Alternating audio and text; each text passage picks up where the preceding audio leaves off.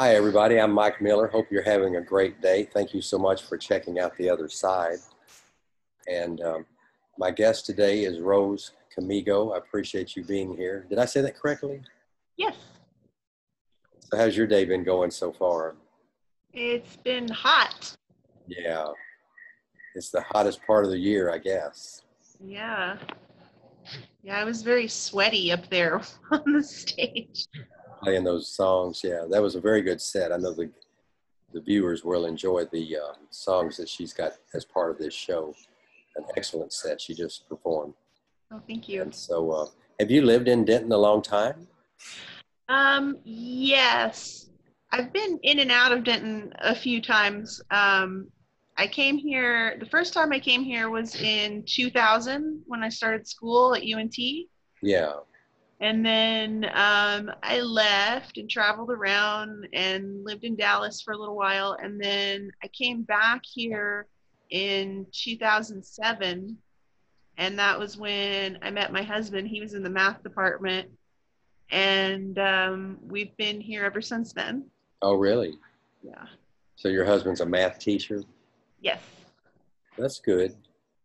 Mhm. That's a good skill. That's always uh, there's always a big need for math teachers for sure. And um, you started playing music when you were in in middle school. You were saying? Uh, well, that's when I started playing guitar. I um, I played piano when I was a little bit younger, um, but then when I got into middle school, you know, I thought it'd be cool to get a guitar, Yeah. and so my brother gave me one of his old guitars, and I just started playing. So your brother had been playing guitar for a while. Yes, yeah. Does he still play? Um, he does sometimes. He was um, he, he was an Elvis impersonator for a while. Oh.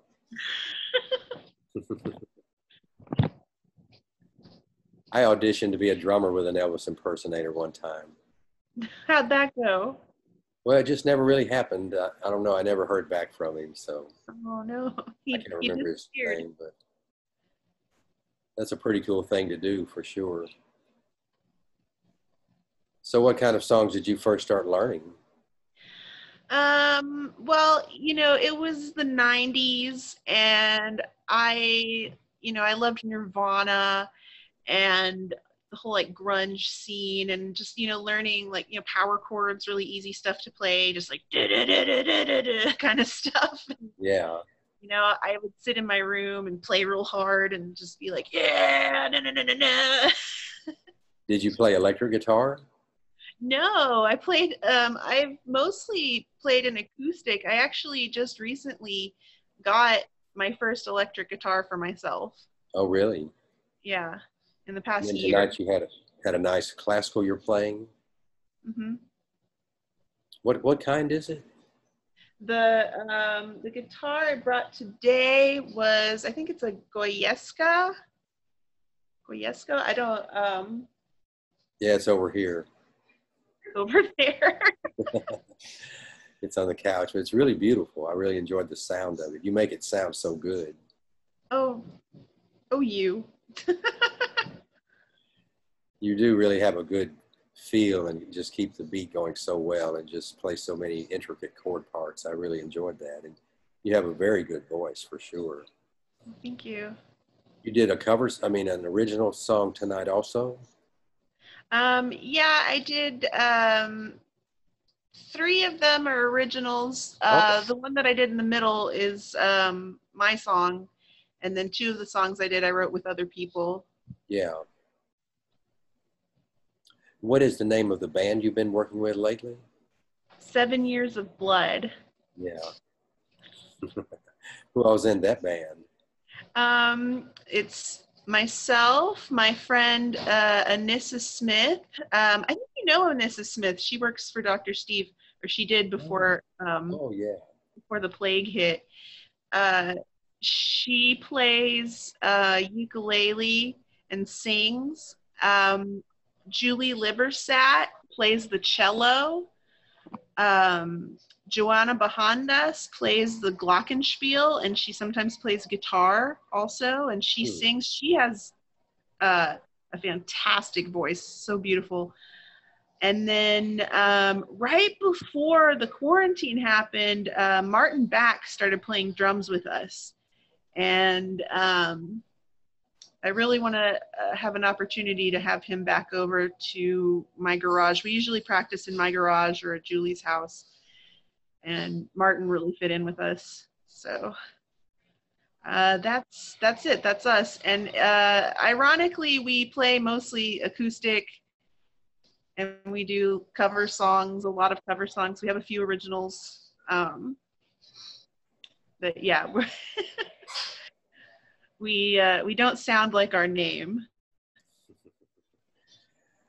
I sure enjoyed your playing on those songs. I know the viewers will enjoy hearing that. And um, but um, saying, um, I went totally blank. But um, so yeah, the, the, the plague though, you mentioned that, that, has just changed things so much. I mean, what is your impression of, of, of all this? Uh, you know, this has, this has caused uh, a huge amount of just going inward for me and a lot of just time to reflect personally. I, you know, before I was just running around doing things all the time, spinning my wheels, just, you know, life was always just going forward. And so it's like, it kind of feels a really weird thing that happened right before the quarantine. I broke an E string on three different guitars. Really? And I remember thinking, like, that's really weird. Like, just all like one after the other within three days. And little I, E the big E? What? The little one. The, the little, little, one. Yeah. But uh, I I remember asking myself, I'm like, okay, you know, if this was a dream, how would I interpret that? Because that's a symbol, that's a sign or a signal. And I thought, well, it's like the universe is pulling the e brake. And so it was like everything just needs to stop for a minute and slow down and quit just moving for the sake of itself, you know, like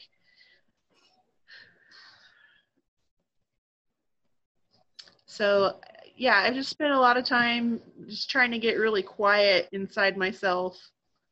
This is the most I've done in a while, is coming over here. this is like a big outing for me. I'm glad you came over to play some songs for sure.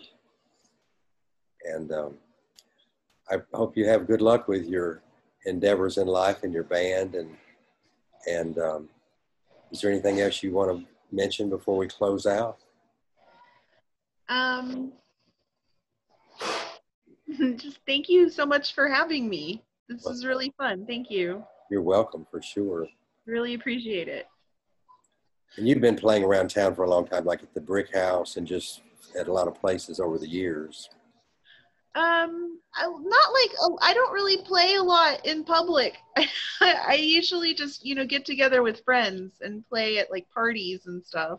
You did poetry readings at the Brick House, though. Yes. Yeah. yeah. Did yeah. you ever do poetry readings like at the Abbey Underground or Hailey's or?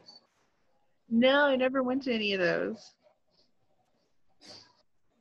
No it's all closed now, and so the plague has changed things so much. It's just really, um, and in places they say the pollution is is not nearly as bad as it used to be. They can see further distances, and mm-hmm. I thought that was interesting.